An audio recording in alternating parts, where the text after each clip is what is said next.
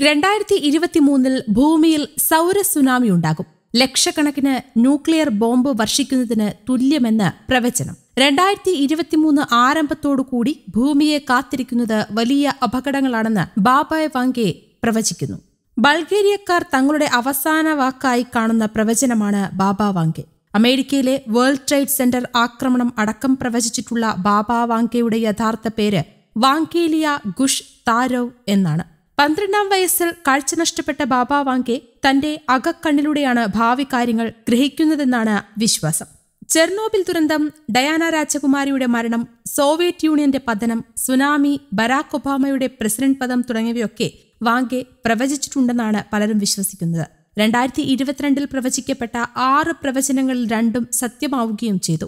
രണ്ടായിരത്തി ഇരുപത്തി മൂന്നിൽ എന്തൊക്കെയാണ് ലോകത്തിൽ നടക്കുക എന്നത് സംബന്ധിച്ചുള്ള ബാബ വാങ്കയുടെ ചില പ്രവചനങ്ങൾ ഇങ്ങനെയാണ്. ഭൂമിയുടെ ഭ്രമണപഥത്തിൽ മാറ്റം സംഭവിക്കും എന്നതാണ് ആദ്യത്തെ പ്രവചനം. ഭൂമിയും സൂര്യനുമായുള്ള ദൂരം കുറയുമെന്നും അതിന്റെ ഫലമായി തീഷ്ണമായ സൗരകിരണങ്ങൾ പതിച്ച് സോളാർ സുനാമി തന്നെ ഉണ്ടായേക്കുമെന്നും ബാബ വാങ്ക പറയുന്നു. ഇനി അതല്ല ഭൂമി അകലുകയാണെങ്കിൽ ലോകത്തിന്റെ പലയിടങ്ങളിലും ഹിമം മൂടാൻ സാധ്യതയുണ്ടെന്നും പ്രവചനത്തിലുണ്ട്.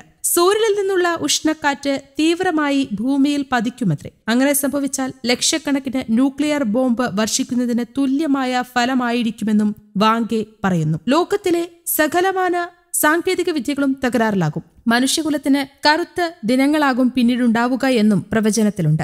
പ്രകൃത്യാലുള്ള ജനനത്തിന് പകരം മനുഷ്യക്കുഞ്ഞുങ്ങൾ ലാബിലായിരിക്കും ജന്മമെടുക്കുക എന്നതാണ് ബാബയുടെ മറ്റൊരു രസകരമായ കണ്ടെത്തൽ. ലോകം കീഴടക്കുന്ന നേതാക്കന്മാരും അവരുടെ ആജ്ഞാനുവർത്തികളായ ശാസ്ത്രജ്ഞരുമായിരിക്കും ആര് എവിടെ ജനിക്കണമെന്ന് തീരുമാനിക്കുക എന്നും വാങ്കെ പറയുന്നു. പന്ത്രണ്ടാം വയസ്സിൽ ഒരു കൊടുങ്കാറ്റിൽ കാഴ്ചശക്തി ദുരൂഹമായി നഷ്ടപ്പെട്ട ബാബ ജനിച്ചത് ആയിരത്തി തൊള്ളായിരത്തി പതിനൊന്നിൽ വടക്കൻ മാസിഡോണിയയിലെ സ്ട്രുമിക്കയിലാണ്. നിലത്തുനിന്നും തന്നെ ഒരു ചുഴലി കൊടുങ്കാറ്റ് ഉയർത്തിക്കൊണ്ടുപോയെന്നും നീണ്ട തിരച്ചിലിന് ഒടുവിൽ കണ്ടെത്തുക ആയിരുന്നു എന്നുമാണ് ആ സംഭവത്തെ വാങ്ക വിശേഷിപ്പിക്കുന്നത്. കൊടുങ്കാറ്റിൽ പെട്ട് കണ്ണിൽ മണലും പൊടിയും നിറയുകയും ഓപ്പറേഷന് വേണ്ടത്ര പണമില്ലാത്തതിനാൽ കുടുംബത്തിന് ശസ്ത്രക്രിയ നടത്തി കാഴ്ച വീണ്ടെടുക്കാൻ കഴിയാതെ ആവുകയും ചെയ്തു. എന്നാൽ അപകടത്തിൽപ്പെട്ട തനിക്ക് ഭാവിയിലേക്ക് സംഭവിക്കുന്ന കാര്യങ്ങൾ കാണാനുള്ള കാഴ്ചശക്തി ലഭിച്ചെന്നും അവർ അവകാശപ്പെടുന്നു. ആയിരത്തി തൊള്ളായിരത്തി തൊണ്ണൂറ്റിയാറിൽ അന്തരിച്ചുവെങ്കിലും നൂറ്റാണ്ടുകളിലേക്കുള്ള പ്രവചനങ്ങൾ നടത്തിയ ശേഷമാണ് ബാബ വങ്ക മൺമറഞ്ഞത്.